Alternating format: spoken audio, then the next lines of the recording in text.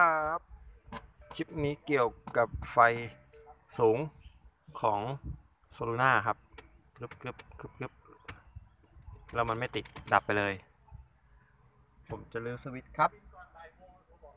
ครับครับ ได้ครับได้ครับ ก็ถ้าไม่ถอดอันนี้ก็จะแกะยากหน่อยถอดนี้ก่อนนะครับสองตัว ถอดเสร็จก็ดึงออกมาเลย สวยครับ แล้วก็ตัวนี้จะมีอยู่สี่ตัวนี่ครับหนึ่งสองสามแล้วก็นี่ตัวนึงสี่ถอดเสร็จก็ มันจะมีเขี้ยวล็อกตรงข้างๆนี่นะฮะสองทั้งสองฝั่งก็ค่อยๆ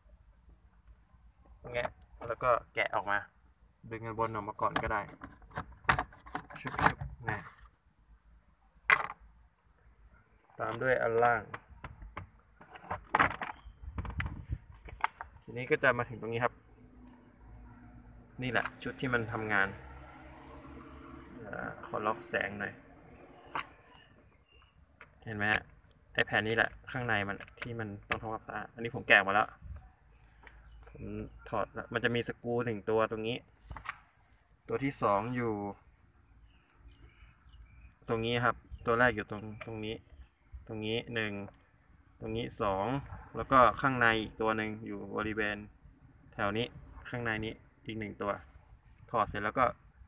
แกะปลั๊กก็กดเข้าไปครับ ตรงนี้กดลงไปแล้วก็ดึงออกมาซุปแล้วก็ค่อยดึงนี่ออก มันจะยากตอนใส่ครับ ตอนใส่ อันนี้มันจะมีสายติดอยู่ ผมก็ว่าไม่จำเป็นต้องถอดแล้วนะตอนใส่ไอเนี่ยฮะ มันจะมีเขี้ยวอยู่ ก็คือที่หมุนอันนี้แหละ เนี่ยขึ้นลงนี้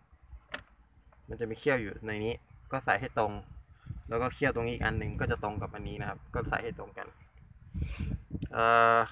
จะทำความสะอาด ตอนแรกข้างหลังไอเนี่ย มันมีนี่ปิดอยู่แกะออกมาก่อนก็ได้ แล้วก็อันนี้ก็เลื่อนออกมาได้เลยชุบเสร็จแล้วก็แกะอันนี้ครับ เคี่ยวอันนี้โหถ้าคนแกะมาได้ถึงระดับเนี้ยคงไม่ต้องสอนแล้วล่ะ แต่อย่าทำหักแบบผมนะฮะ อันนี้คือทำหักครับ เพราะว่า ใช้มือเดียว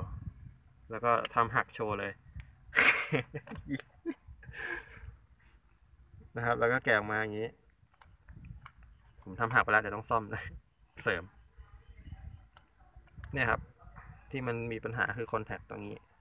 เดี๋ยวเอากระดาษทรายขัด แล้วก็เอาสเปซชีตหน่อยแล้วก็ซ่อมที่หักครับ โอเค แล้วก็ประกอบกับตามแบบเดิมนะครับ โอเคครับ สวัสดี เฮ้ย กล้องมันกลับหัวแน่เลยว่ะ